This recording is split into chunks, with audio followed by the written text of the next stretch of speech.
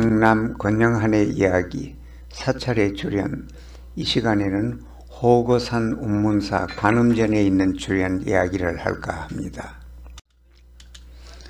예, 운문사는 경상북도 청도군 운문면 호거산에 있는 절입니다. 대한불교 조계종 제9교구 본사인 동아사의 말사이기도 한 이 절은 서기 560년 그러니까 신라 진흥왕 21년에 신승이라고 하는 스님이 창건한 절이라고 합니다. 그런데 운문사는 지금 그 성가대학 비구니들의 성가대학교로서도 아주 유명한 사찰입니다. 운문사 관음전에는 여기 보는 것처럼 아주 활달한 행서로 썼는 여섯 장의 주련 글씨가 적혀져 있습니다. 아, 너무너무 명필로 아주 잘 쓰는 글씨입니다. 그러면 한 줄씩 해석을 해봅니다. 예, 보통 칠언절구의 해설은 여기 넉자, 석자로 띄가지고 에, 이 글을 살펴보면 해석이 쉽습니다. 여기도 백이관음, 무설설, 백이관음이라 그는 것은 흰 옷을 입은 관세음보살이란 말입니다. 관세음보살은 여러 가지로 변신을 할 수가 있는데 그런 여러 가지 관세음보살 중에 흰 옷을 입은 관세음보살이 가장 자비롭고 아주 우리한테 친숙합니다.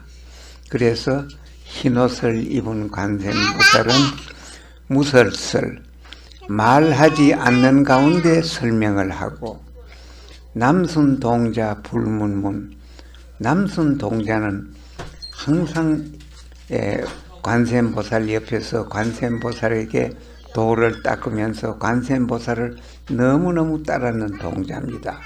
그 남성 동자는 불문문 듣지 않는 것 같으면서도 듣고 있다 이렇습니다.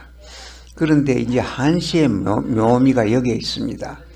백이관음에 대응되는 게 남순 동자고 무설설의 대가 대가 바로 무 불문문입니다. 무자하고 불, 설자하고 문자 예, 이렇게 예, 이 주련이 구성이 되어 있습니다.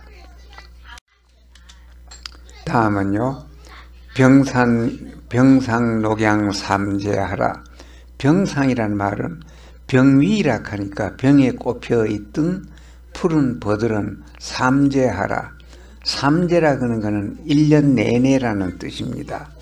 옛날에 인도에서는 1년을 어, 셋으로 갈라서 하나가 전제, 중제, 후제 그래가지고 삼재입니다. 우리처럼 사절, 사계절이 있는 것이 아니고 인도에서는 삼계 계절로 따져서 삼재라 그렇습니다. 그러니까 삼재라 하면 1년 내내를 말합니다. 그래서 꽃병 위에 보들 항상 여름인데 암전 취죽 시방춘이라 암정은 바위 앞이란 말이고 취죽은 푸른 대나무란 말입니다. 시방이란 말은 온 세상이라는 뜻이고 봄이라는 뜻. 이거는 봄춘자입니다.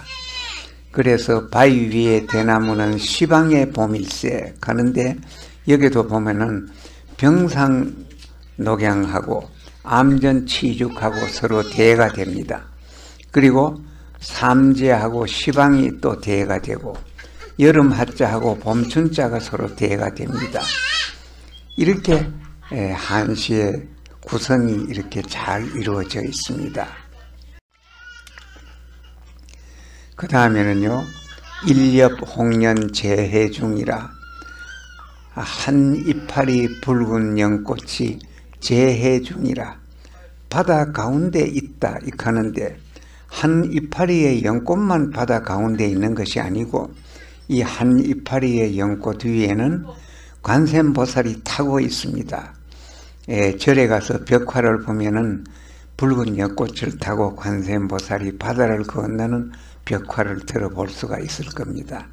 이거는 그런 걸 상상하면 됩니다. 한입 연꽃은, 연꽃은 바다 가운데 떠 있고 벽파 심처 현신통이라 벽파는 푸른 파도라는 뜻입니다. 요건 푸를 벽자고 이거는 파도 파자입니다. 푸른 파도 깊은 곳에 현 신통이라 신통력을 나타내시네. 관세음보살이 푸른 파도 깊은 곳에서 붉은 연꽃 한 입을 따고 타고 신통력을 나타낸다 그런 말입니다. 그래서 푸른 파도 깊은 곳에 신통력 신통으로 나투시네 나투시네 가는 말은 나타내시네 그런 말입니다. 다음은요 자가, 자기야 보타 관자재 자기야는 어제 저녁이라는 뜻입니다. 보타는 관세음보살의 거주처인 보타라카산 인도에 있는 보타라카산입니다. 관자재에 가는 것은 관세음보살이라는 뜻입니다. 그래서 어제 저녁 보타라카 산에 계시던 관자재 보살 그래서 이걸 정리하면 지난밤에 보타산에 계시던 관자재 보살님 그 다음에 금일 강부 도량 중이라 금일은 오늘이고 강부는 내려왔다는 뜻입니다. 강림했다. 도량중이란 말은 이 사찰 아니라는 뜻입니다. 그래서 금일 강부 도량중 가면 오늘은 도량 가운데 강림하셨네 갑니다. 여기도 보면 요 자기야하고 금일이 서로 대구가 되어 있습니다. 에, 이 관시의 구조는 다 이렇게 서로 대를 이루고 있는 겁니다. 그러면 달아서 해석을 해봅니다. 백이 관음은 말없이 말하고 남순 동자는 들음 없이 듣도다. 꽃병 위에 버들은 항상 여름인데 바위 위에 대나무는 시방의 봄일세.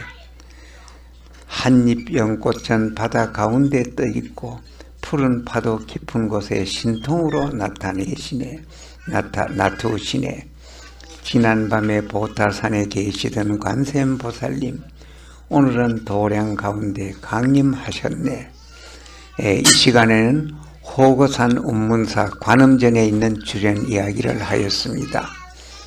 경청해 주셔서 감사합니다.